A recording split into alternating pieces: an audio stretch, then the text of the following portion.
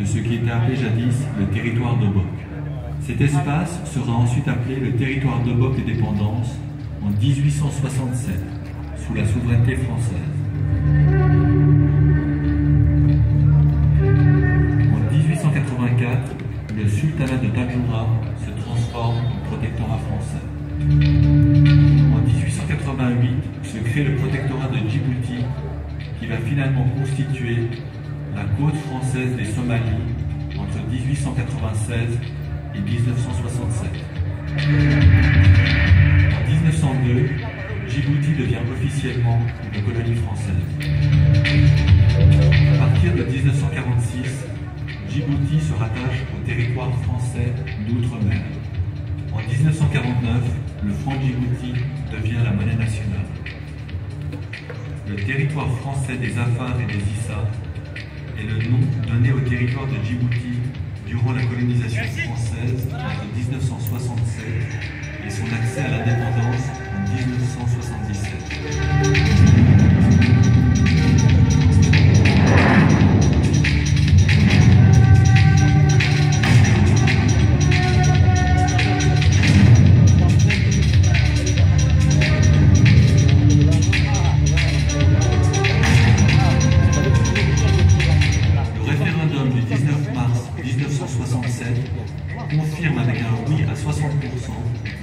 L'intérêt de la population de rester un territoire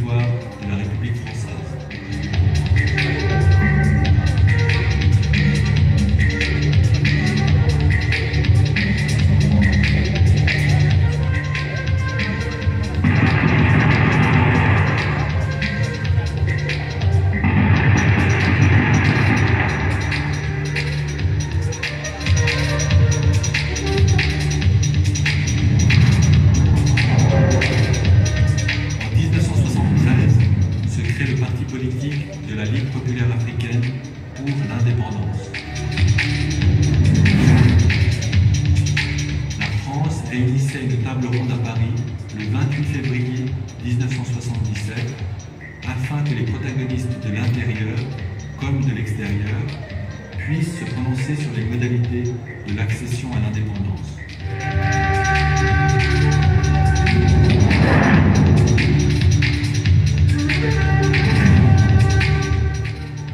Après un référendum sur l'autodétermination, le 8 mai 1977, avec 98% de oui, le territoire devient indépendant.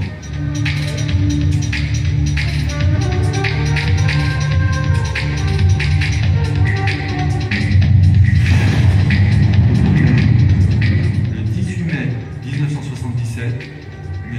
Hassan Bouled Abdidon est élu président du Conseil du gouvernement. Qu'est-ce qui va changer demain pour les beaucoup de choses. Ils seront soulagés. Même si on n'a pas de l'argent, ils auront la liberté. Et de circuler librement. Il n'y aura pas de rab, il n'y aura pas de barrage, il n'y aura pas de ce. Malheur, c'est nutrition fait. Mais c'est libre. C'est la liberté, c'est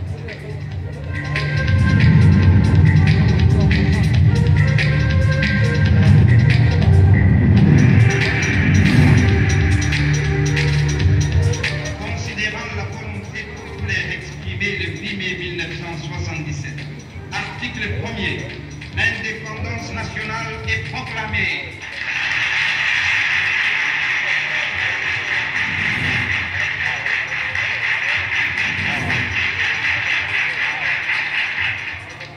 La déclaration d'indépendance du territoire français d'Afar-Ebissa a lieu le 27 juin 1977.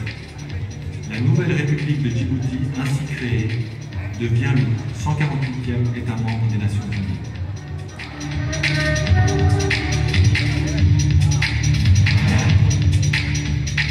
Monsieur Hassan Bouled, devient le 8 juillet ah, 1977 le premier président de la République des Djibouti.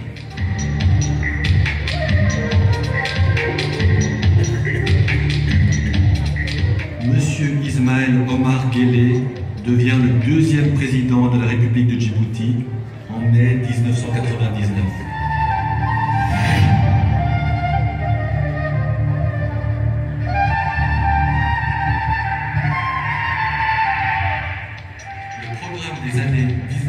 2019-2017 fut de développer Djibouti et de le rendre un pays fort